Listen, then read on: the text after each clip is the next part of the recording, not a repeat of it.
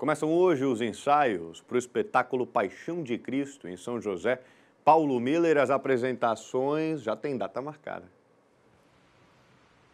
Tem data marcada e bastante importante para quem mora aqui em São José ou mora aqui na Grande Florianópolis e quiser conhecer, né, apreciar esse espetáculo, que é já muito tradicional aqui na cidade de São José, mudou de local, tá, gente? Por conta das condições climáticas, sempre esse espetáculo era encenado no centro histórico da cidade. Agora mudou para cá, para o teatro do, da Dona Nini, tá? aqui no centro multiuso, que é o Teatro Ermelinda Isabel Meriz. Então, hoje, dia 26, tem um ensaio geral aqui no teatro. Né? O teatro comporta 750 pessoas. O ensaio geral não é aberto para o público, tá, gente? Somente nos dias do, do, do, do espetá dos espetáculos, né? que são dois dois dias de espetáculos, amanhã e quinta-feira, dia 27 e dia 28, 8 e meia da noite. Então é só vir, vir aqui, é de graça, ninguém paga nada, só chegar aqui e entrar. São, como eu falei, são 750 lugares, tem que chegar cedo, porque é bastante disputado, o pessoal é, faz um espetáculo belíssimo aqui na cidade de São José.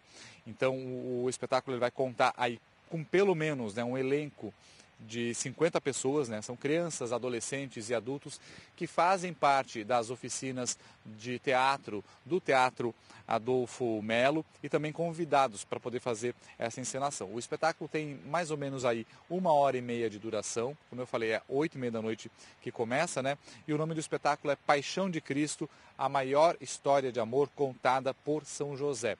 Então, vale a pena quem veio já em outras edições acompanhar né, essa história, uma história belíssima, né, uma história religiosa belíssima contada aí por, esse, por essas crianças, por esses adolescentes, esses adultos. Vale a pena vir, tá? Então vamos lá, servição aí pro pessoal.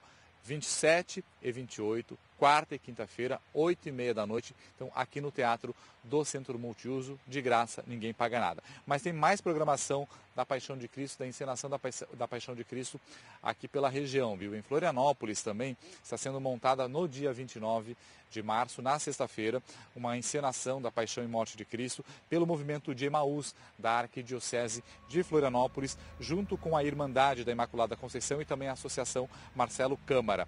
Vai ser às 10 horas da manhã, sexta-feira, na Igreja Nossa Senhora da Conceição, no centro. Então são mais de 50 é, atores lá, entre jovens, crianças, adolescentes, adultos, que vão também contar essa história. Tem uma outra encenação também super tradicional, viu gente, que também chega à 31ª é, é, edição, que é na, no Ribeirão da Ilha. Então, no Ribeirão da Ilha, lá na Igreja Nossa Senhora da Lapa, sexta-feira, seis e meia da tarde, tradicional encenação da Morte e Paixão de Cristo. São mais de 150 pessoas que ensaiam esse espetáculo lá, que encenam esse espetáculo e também está todo mundo convidado. Todas essas encenações que eu falei são de graça, ninguém paga nada, é só prestigiar, demonstrar a fé e se emocionar com esses espetáculos que estão sendo preparados com bastante carinho por esse pessoal que conta essa história bíblica tão importante né, da nossa vida religiosa, não só aqui do Brasil, mas de todo o mundo. Marta e Lucas.